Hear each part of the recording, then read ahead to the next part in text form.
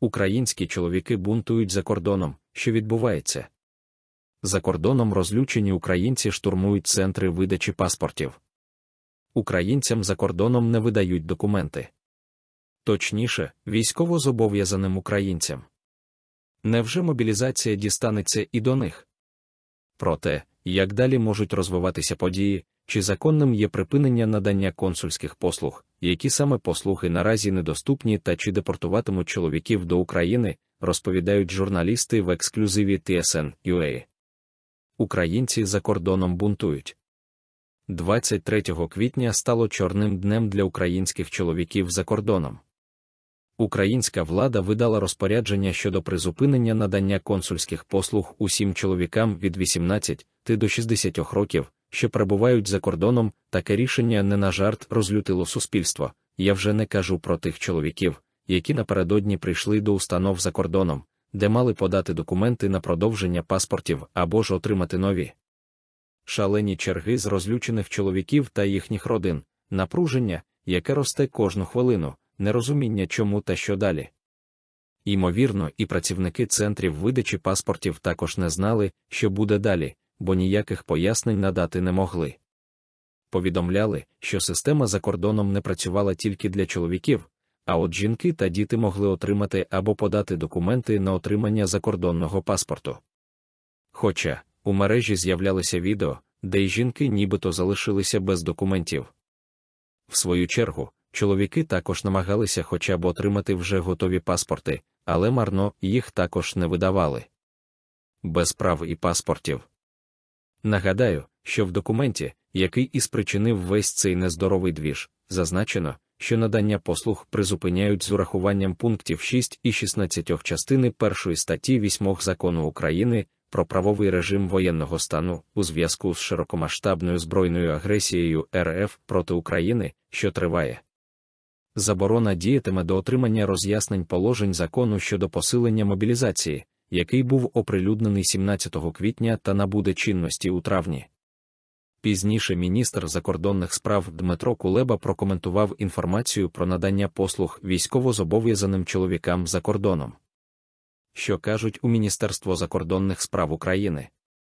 І тільки під вечір 23 квітня, після шалених черг та скандалів з працівниками центрів видачі паспортів за кордоном, Міністерство закордонних справ опублікувало роз'яснення щодо обмежень консульських послуг для чоловіків. З ними можна ознайомитись на сайті міністерства. У Міністерство закордонних справ запевнили, що припинення консульських послуг це тимчасовий крок, і всі українські чоловіки, що перебувають за кордоном, зможуть отримати паспорти, однак після уточнення військово-облікових даних. Заяви перестали приймати з 23 квітня. Це рішення, тимчасовий крок, обумовлений необхідністю вирішення питань щодо військового обліку громадян мобілізаційного віку, які перебувають за кордоном. Всі заяви, які громадяни України подали до консульських установ до 23 квітня, розглянуть і опрацюють у повному обсязі. Тимчасово не будуть приймати лише нові заяви від визначеної в новому законі категорії громадян, оскільки строк розгляду таких заяв може перевищити час, який залишився до набуття ним чинності. Обмеження не застосовуються у разі, коли фактичним отримувачем послуги є не сам заявник, а його неповнолітня дитина чи підопічна особа. Після набуття законом про мобілізацію чинності 18 травня процес прийняття та розгляду заяв про вчинення консульських дій продовжиться з урахуванням нових вимог, що випливають із положень закону. Чоловіки у віці від 18 до 60 років після оновлення даних військового обліку в ТЦК із дійсними військово-обліковими документами матимуть доступ до консульських послуг згідно з законодавством у повному обсязі. Якщо особа чоловічої статі потрапить у надзвичайну ситуацію, дорожньо-транспортна пригода, стихійні лиха за кордоном, то співробітники консульської служби надаватимуть необхідну консульську допомогу в повному обсязі. В свою чергу правозахисники б'ють на сполох і кажуть, що такі дії української влади не зовсім коректні, оскільки закон про мобілізацію ще не набув чинності, тому посилатися на його норми і призупиняти надання консульських послуг не є правильним та порушує права людини. Юрист і правозахисник Олександр Павліченко розтлумачив, що не так з обмеженням роботи консульств для українців призовного віку, що перебувають за кордоном під час війни. Про це він зазначив в ефірі Суспільного у телемарафоні Єдині новини. ТСН.UA запустив опитування, чи призведе припинення надання консульських послуг чоловікам до того, що українці не повертатимуться до України та прагнутимуть отримати громадянство іншої країни. Переважна більшість опитаних вважає, що припинення надання консульських послуг таки призведе до того, що українці не захочуть повертатися до України та будуть намагатися отримати громадянство іншої держави. Були й ті, хто відповів, що українці таки будуть мати бажання повернутися до України, однак цей відсоток надзвичайно малий. А що думаєте ви щодо заборони консульських послуг для військовозобов'язаних чоловіків за кордоном? До чого це призведе, напишіть нам у коментарях.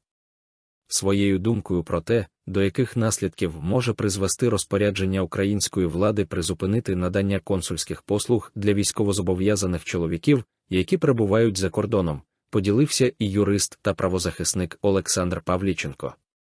Нардепи також почали критикувати рішення Міністерства закордонних справ. Відмова у консульських послугах відріже українців на 10 років від країни. Таку гучну заяву зробив у парламенті Дмитро Разумков. Хто встигне зараз, він отримає паспорт, а хто не встигне, він на нього плюне та отримає паспорт іншої держави. І ви втратите ціле покоління. В свою чергу оборонний комітет ВР хоче викликати керівництво Міністерства закордонних справ для пояснень щодо свого рішення призупинити надання консульських послуг чоловікам за кордоном. Про це повідомила членкиня комітету Соломія Бобровська. Вона назвала рішення Міністерства закордонних справ напівзаконним і вважає, що воно має сумнівний результат, адекватність і зміст. Долею українських чоловіків за кордоном під час війни почали перейматися вже давно. Гучні заяви щодо можливої мобілізації військовозобов'язаних, які перебувають не в Україні, лунали з вуст і українських, і закордонних політиків. Ця тема неодноразово висвітлювалась у вітчизняних та закордонних ЗМІ. Гостру заяву щодо призову українських чоловіків за кордоном зробив і президент Володимир Зеленський чоловіки мобілізаційного віку мають бути в Україні, підкреслив президент. Зеленський заявив, що на одного військового йде 6-8 платників податків, і якщо ви в Україні і не на фронті, а працюєте та платите податки, то ви так само захищаєте державу. Але якщо ви за кордоном і ви призовного мобілізаційного віку, і ви і не на фронті, і не сплачуєте податки, і виїжджали поза законом, то є запитання. ЄС має призвати українських чоловіків, які поїхали за кордон. Таку гучну заяву зробили у Бундесвері ще минулого року. Хоча потім з'явилася інформація, що уряди європейських країн не будуть змушувати українських чоловіків, які зараз перебувають не в Україні, долучатися до СУ. Зокрема, відповідну заяву зробив міністр юстиції Німеччини Марко Бушман.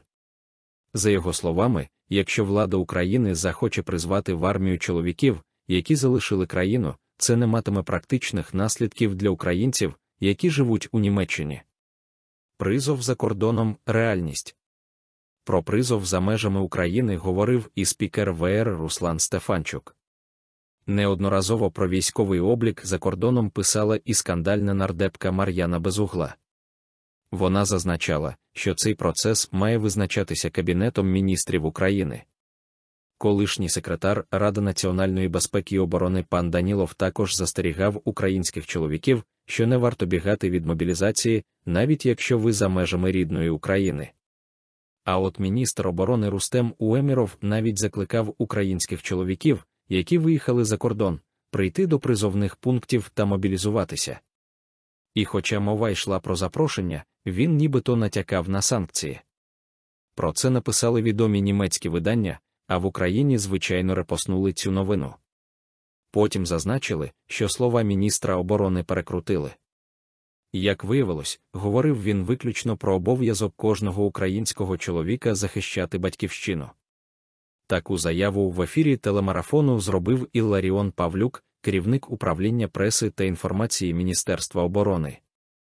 Нагадаю, нардеп Федір Веніславський зазначав, що механізму, який би змусив громадян України повернутися, якщо вони цього не хочуть, якщо вони легально перетнули державний кордон і якщо щодо них немає кримінальних проваджень в Україні, немає ніяких негативних наслідків для громадян України, які хочуть оновити свої дані, документи, паспорти чи отримати консульські послуги, точно не буде.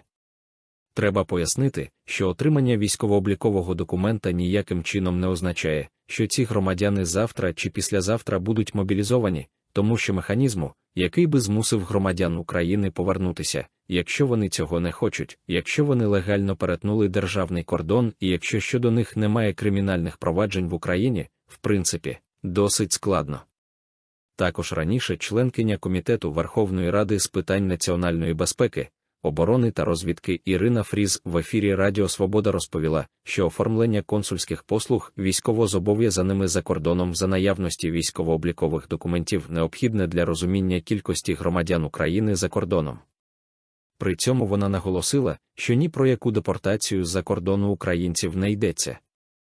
Зараз, згідно з чинним законодавством, і українським, і міжнародним немає механізму депортації людей під час військового стану з інших країн жодної депортації відбуватися не буде. Це тільки для військового обліку потрібно для Міністерства оборони. Нагадаємо, Кабмін заборонив пересилати за кордон паспорти для чоловіків. Тепер призовники зможуть отримати їх тільки в Україні.